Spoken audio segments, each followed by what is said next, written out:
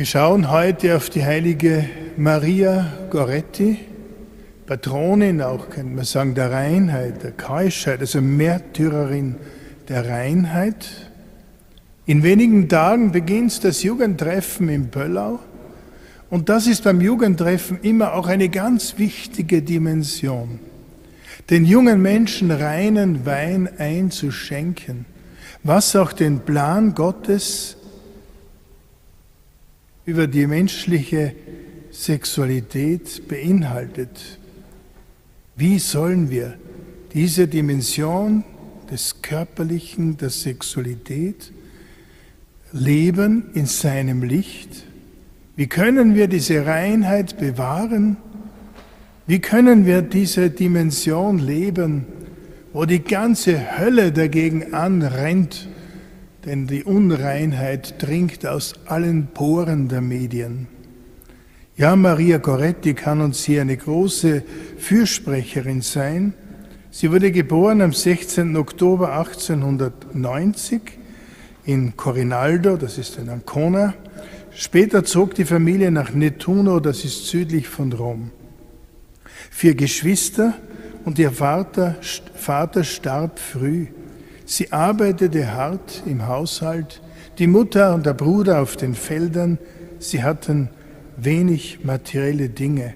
Sie waren so arm, dass für ihre Erstkommunion hat das Dorf aus Mitleid, weil sie sich so gefreut hat auf dieses Fest, zusammengesteuert für ein weißes Erstkommunionkleid. Das weiße Kleid, auch Symbol der Reinheit. Wie sehr hat sie sich gesehnt, Jesus in der heiligen Eucharistie zu empfangen.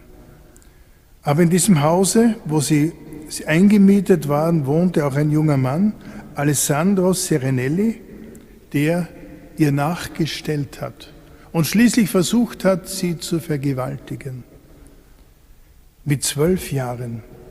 Sie leistete derart Widerstand, dass er derart wild geworden ist, dass er sie erstach mit einer Schusterale.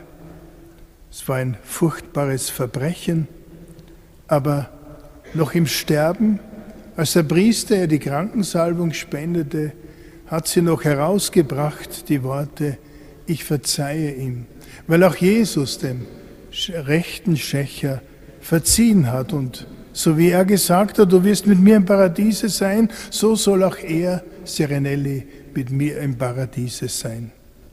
Welch großes Herz hatte dieses zarte kleine Mädchen. Und 1950 war dann die Heiligsprechung, vorher noch die Seligsprechung durch Papst Pius XII. Der Mörder wurde verurteilt zu 30 Jahren Gefängnis und Zwangsarbeit. Und in dieser Zeit hatte er einen Traum. Es erschien ihm die heilige Maria Goretti und schenkte ihm einen Strauß von 14 Lilien. Und wenn wir da hinaufschauen beim heiligen Josef, er hält eine Lilie in der Hand. Die Lilie ist immer Symbol der Reinheit. Und er bekehrte sich, wurde dann wegen guter Führung früher entlassen als vorgesehen, lebte dann in einem Kapuzinerkloster und gehörte dem dritten Orden des heiligen Franziskus an. Ja, es ist schon erstaunlich bei der Seligsprechung 1947 saß er in der ersten Reihe neben der Mutter von Maria Goretti. Ja, eine Märtyrerin der Reinheit. Und wenn ich auf das kommende Jugendtreffen schaue, mir ist dann so dieses Bild gekommen einer Ellipse, so viel weiß ich noch von der Geometrieunterricht. Und eine Ellipse hat zwei Brennpunkte. Und mir scheint so, ich spreche jetzt vielleicht nicht alle, die hier mitplanen, aber das ist so auf mir auf dem Herzen. Diese zwei Brennpunkte der Ellipse bedeuten die Ehrfurcht vor dem Leib Christi und die Ehrfurcht vor dem Leib des Menschen. Wie lebe ich die Sexualität? Wenn eins von beiden beschädigt ist, funktioniert es nicht mehr. Also scheint mir so wichtig, junge Menschen hinzuführen zur Ehrfurcht vor der heiligen Eucharistie und gleichzeitig auch der Ehrfurcht vor dem großen Geschenk der Sexualität. Das hängt eng zusammen. Wenn man den Glauben verkündet, dann verkündet man nicht zuerst eine Moral. So musst du leben und das Gebot und das Gebot. Das Erste, was man verkünden muss, ist die Freude an der Gegenwart Jesu, der mich unendlich liebt. Und darum ist das Erste diese Verkündigung. Er lebt. Und wo lebt er? Er lebt am intensivsten, am verdichtetsten in dieser Welt im Sakrament der heiligen Eucharistie. Und auch das hat eine körperliche Dimension, dass man die Eucharistie so empfängt, dass man dabei niederkniet. So mir war das durch die ganzen Jahre beim Jugendtreffen immer wichtig, den Jugendlichen die kniende Mundkommunion zu zeigen. Aber wie gesagt, das wäre nur eine Turnübung, wenn es nicht zuerst die Verkündigung des lebendigen Jesus ist, dass ich so von seiner Freude getroffen bin, von dieser Gegenwart seiner Liebe, dass ich wie von selber in die Knie sinke. Aber man darf es ein bisschen auch von außen her fördern, denn das Äußere formt das Innere und das Innere wirkt sich wieder nach außen auf.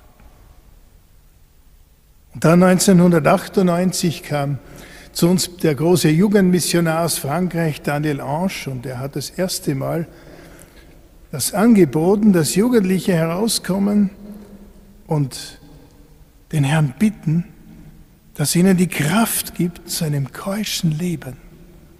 Es gibt nur ganz wenige junge Paare, die heute in die Ehe gehen, unberührt sozusagen, die nicht vorher schon gelebt haben, wie man in der Ehe lebt. Das Jugendlichen zu sagen, ist ungeheuer wichtig, die heute sogar im Religionsunterricht das Gegenteil hören. Und dann kommen Angriffe, wenn man das tut. Da wird die Hölle, da wird die Hölle nervös. Und das Erstaunliche an diesen Angriffen ist, sie kommen aus dem Inneren der Kirche. Ich möchte und kann dazu nicht mehr sagen. Angriffe aus dem Inneren der Kirche von Leuten, die schon lange eine andere Moral verkünden, das hat keine Folgen.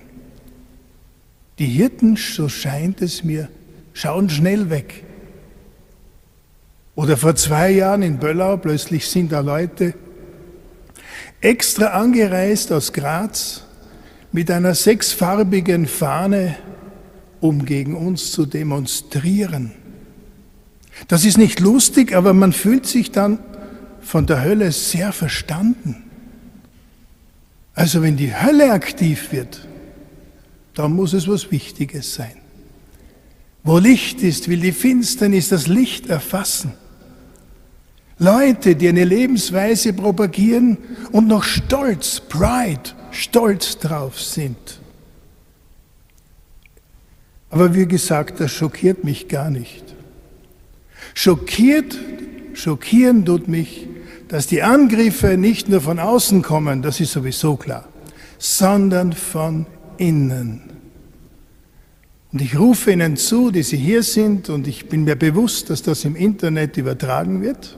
Ich sage es bewusst deswegen. Beten Sie für diese Woche und beten Sie für uns, dass wir den jungen Menschen die Freude an Gott vermitteln können. Denn wenn die Freude an Jesus da ist, dann kommt die Frage im Herzen auf, wie kann ich diese Freude behalten? Wie kann ich bei Jesus bleiben? Das heißt, wie muss ich leben, dass Jesus in meiner Nähe bleiben kann? Das ist dann ein großer Bogen, was man sagen muss. Aber sehr zentral ist dieser Punkt, den ich genannt habe. Und ich liege nicht ganz falsch, wenn ich hier nämlich heute gelesen habe. Hütet euch vor der Unzucht. Jede andere Sünde, die der Mensch tut, bleibt außerhalb des Leibes. Wer aber Unzucht treibt, versündigt sich gegen den eigenen Leib. Also es soll mir keiner kommen und sagen, das ist eine einseitige Betonung dieses Punktes. Ich rede hier mit Paulus im Korintherbrief. Jede andere Sünde, die der Mensch tut, bleibt außerhalb des Leibes. Also wundern wir uns bitte nicht, wenn der Satan uns, ob man nicht in der Ehe lebt oder in der Ehe lebt, ganz egal, wenn der Satan uns in diesem Punkt angreift, das ist sein beliebtestes Einfallstor über die sinnlichen Begierden. Das ist mehr als die Sexualität. Interessant, die Mutter Gottes erscheint 42 Jahre in Medjugorje und sie hat 40.000 Botschaften gegeben. Und wenn man diese Botschaften durchwühlt, findet man kein einziges Mal das Wort Sexualität. Interessant. Ich weiß schon warum, weil sie spricht davon. Fastet. Was ist Fasten anders, als gegen die Begierden des Leibes anzugehen? Dieser Esstrieb. Und der Mensch ist ein kommunizierendes Gefäß. Arbeitet er an einem Punkt, arbeitet er immer an allen Punkten. Das heißt, der Wasserpegel geht in allen Gefäßen rauf und runter. Ein Mensch, der fastet, hat sich mehr in der Hand. Er regiert über sich. Er geht an gegen seine Begierden. Es lohnt sich in diesem Punkt zu kämpfen. Schauen wir, wie die Hölle anrennt gegen den Zölibat der Priester. Natürlich ist der Anlass der Diskussionen oft, wenn viele Priester ihn nicht aufrichtig leben. Aber es scheint ein ungeheuer wichtiges Element der stillen Verkündigung zu sein, es ist möglich. Und wenn ich als Priester zu jungen Menschen spreche, dann habe ich schon öfter gesagt, ich weiß, wovon ich rede. Was ich euch anrate, enthaltsam bis zur Ehe zu leben, das lebe ich ein Leben lang. Warum kann ich das leben? Ja, weil ich verliebt bin, weil ich brenne, weil Jesus mich liebt und weil ich versuche, Jesus zu lieben. Dieses Feuer brauchen wir. Der Mensch ist nämlich auf Gemeinschaft hin angelegt. Das kann für einen heißen Ehe, das kann für den anderen heißen ein intensives Leben mit Gott. Wer ehelos lebt, muss mehr beten als andere, damit er brennt. Das heißt, der Zölibat der Priester, also ich bin überzeugt, der wird nicht aufgehoben werden. Da können noch so viele Synoden tagen, also die, das wird der Himmel nicht zulassen. Ich hoffe es zumindest. Beten Sie für uns, und beten Sie für jene, die einwirken auf die Jugend, dass sie dieses Thema nicht verschweigen. Amen.